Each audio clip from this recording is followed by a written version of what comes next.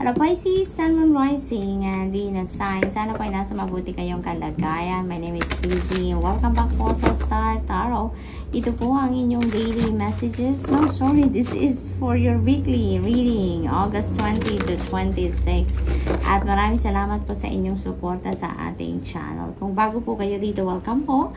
At kung hindi pa kayo nakakapag-subscribe, subscribe na kayo para updated kayo sa mga readings. Paalala lang, may general reading ito kaya hindi ito magre-resonate sa lahat. Kunin nyo lang kung ano ang sasakto sa inyong sitwasyon. Kung hindi po mag-resonate sa inyo, panoorin ninyo ang inyong moon rising and Venus signs dahil baka nandun ang mensahe na para sa inyo. And of course, maaari rin ninyong i-claim lahat ng positive energies po na mapipick up ninyo sa reading na to. Maaari din ninyong isulat yan sa comment section po sa baba ng video. Thank you. So, tignan po natin kung ano muna yung mga trinkets no, na lalabas para sa inyo, Pisces. We have key na maganda na sa inyong mga kamay ang susi para sa pagbubukas ninyo ng mga bagong uh, possibilities and opportunities for yourself, no? What else? We have butterfly, transformation, change, maaaring mag-unfold sa buhay ninyo sa iba't ibang area, no? Ng buhay ninyo yan. We have the key. Oh, tignan niyo may susi. Tapos may heart na may keyhole. so, Pisces, this is all about love as well, no? Maaring ano to, maaring um, nasa inyong desisyon talaga ngayon. If you are going to open up your heart muli para sa pagmamahal, no? Uh, maaring pagmamahal yan towards other people or uh, or yung pagbubukas ng puso ninyo para sa ibang tao na mahalin naman kayo, no? Yung ganon. So, what else for Pisces? Strategy. Ayan. First card ninyo, strategy. Ayan. So, nasa planning stage, strategizing stage ang iba sa inyo dito, Pisces. Maring meron kayong mga plano sa buhay, may mga bagong ideas kayo siguro na naiisip. So, ngayon you are ano, strategizing kung ano yung kailangan ninyong gawin, ano mga kailangan ninyo, yung mga ganon, ano? What else? We have happy family. Ayan. So, maybe, this is about pagpapamilya, no? Maaring nagpaplano na kayo, when are you going to settle down? Ano yung mga plano ninyo pag nag-asawa kayo? Anong mga pangarap ninyo para sa iyong bubuuing pamilya? Sorry, Pisces. Nabubulol.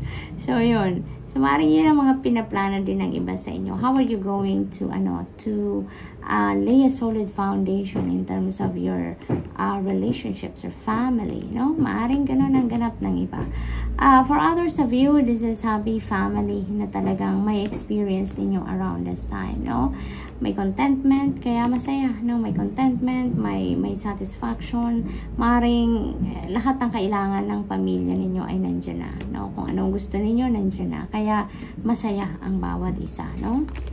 We have 6th chakra, Archangel Metatron. Ayan. So, we have number 44 na, no? Kasi, uh, this is 4 and this is 4 as well. 40 is also 4. So, uh, 4 is about stability, you know? Stability, foundation, yung mga ganon. Kaya, maaari talaga na yung foundation, no?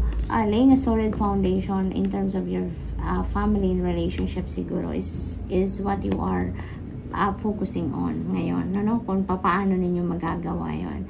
And you are divinely guided, you know, Pisces, dito sa 6th chakra, ibig sabihin na you are receiving uh, downloads from the divine. You are receiving an overflowing of of information, inspiration, divine guidance dito para tulungan ka no sa iyong uh, mga sitwasyon sa ngayon ano So, what else for Pisces? We have abundance. Yay! This is financial abundance coming in sa buhay niyo, Pisces. This could also be abundance of love, no? Yun ang akin napipick up din for some of you. So, maaaring may mga opportunities dito, financial opportunities na parating din that is going to bring forth financial abundance and prosperity. Balance, ayan. So, feels like balance eh, ang buhay ninyo ngayon, no? Uh, nasa tamang posisyon ang lahat nasa buhay ninyo, Pisces. Kaya masaya kayo. Masaya ang pamilya, masaya kayo. Kaya, tinan ninyo, abundant pa kayo, prosperous kayo. So, talagang parang bumagsak na sa tamang posisyon ang bawat uh, bagay, ang bawat area o ay bawat aspeto ng buhay ninyo dito. Kaya masaya ang lahat. What else for Pisces? Flow. You are in the flow. Oh my God, Pisces. This is really beautiful.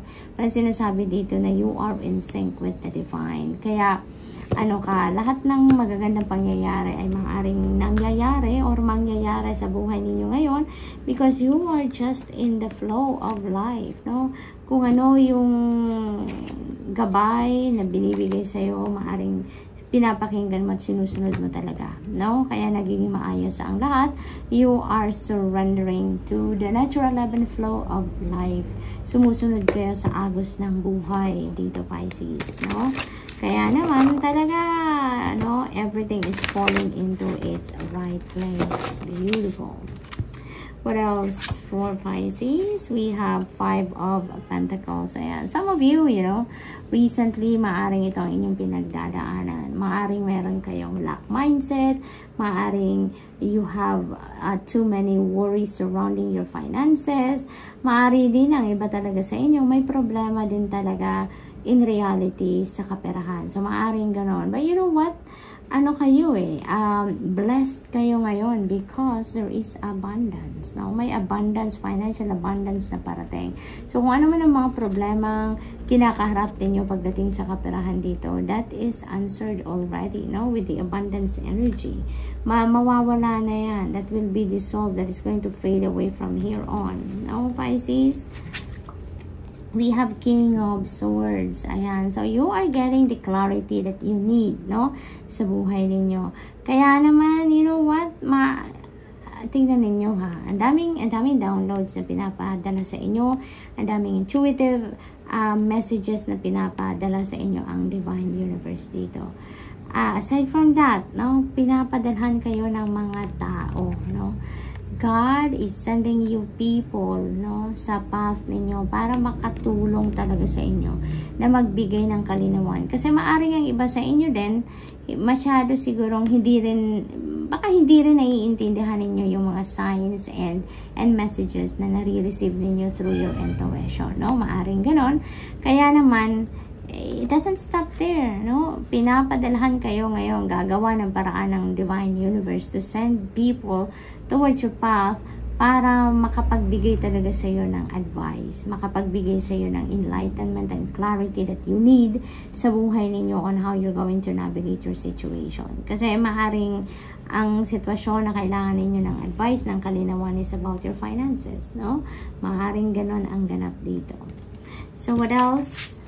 We have ace of pentacles. Beautiful. No this is ano this is uh financial opportunities this is financial opportunities maaring business opportunity to career opportunity job opportunity maaring this is a financial uh, gift na parating sa inyo. Maaring meron talaga magregalo, magbigay ng kaperahan. This could be a winning, no? Maybe lottery winning to, no? Maaring ganun din. Or maaring inheritance din, no? Na malaking value ang parating sa inyo dito, Pisces. Kaya kung ano man ang pinoproblema ninyo sa pera, you know, we already have two abundance uh, energies. Kasi si Ace of Pentacles, this is a prosperous and an abundant energy. And we have abundance cards. Ibig sabihin, Pisces, kung anong problema ninyo sa kaperahan, kung ano man yung financial constraints or shortage ninyo pagdating sa kaperahan, no, that will be solved na. Pisces, may kasagutan na ang Divine Universe para dito. No? Maaalis na kayo sa pag-worry no? pagdating sa inyong problema sa kaperahan. So, may relocation din dito, no, sa Ace of Pentacles. Pisces, so maaaring ang iba sa inyo dito is going to travel somewhere. Maaring yan ay travel related din sa financial opportunities na yan. Or, maaring yung travel na yan is relocation. No? Maglilipat bahay, changing place of residence, maaring ganun. So, good luck. And that's all I have for you for today. I hope nakatulong ang mga mensahe ito in some way. Thank you for watching. Love and light. Namaste.